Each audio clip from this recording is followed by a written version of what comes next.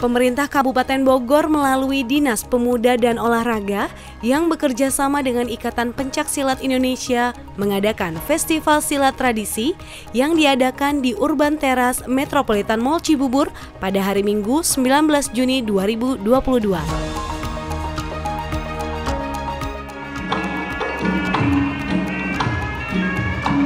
Acara ini bertujuan ingin mengenalkan kepada masyarakat akan eksistensi silat Cimande sebagai silat yang tertua di Indonesia dan menjadi cikal bakal lahirnya pencak silat di Jawa Barat.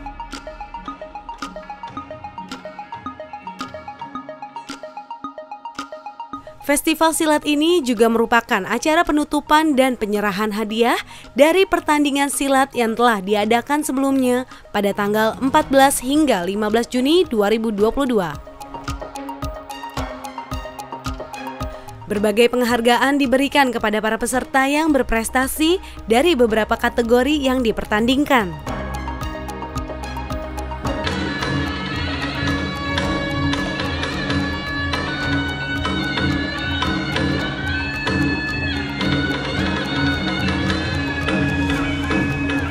Selain penyerahan penghargaan, dalam festival ini juga menampilkan peragaan ilmu bela diri pencak silat yang sangat menarik dan penampilan khusus dari salah satu atlet pencak silat asal Prancis yaitu Asep Isak Jack.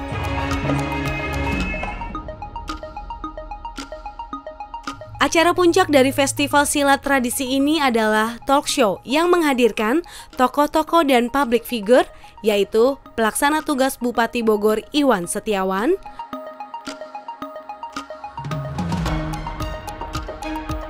aktris dan atlet pencak silat Prisia Nasution,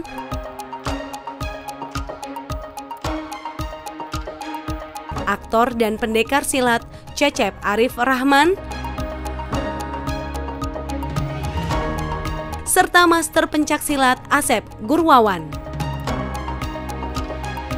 Bahwa dengan adanya kerjasama antara Dispora dengan uh, IPSI ini luar biasa sesuai dengan program yang uh, bisa disinergikan antara program IPSI menyangkut Pancasila tradisi, begitupun juga di Dispora yang ada kaitannya dengan bela diri masyarakat. Nah oleh karena itu perlu ini menjadi agenda tetap gitu ya. Dan harapan kami mungkin nanti ke depan ini akan lebih besar lagi event yang diselenggarakan oleh Dispora ini.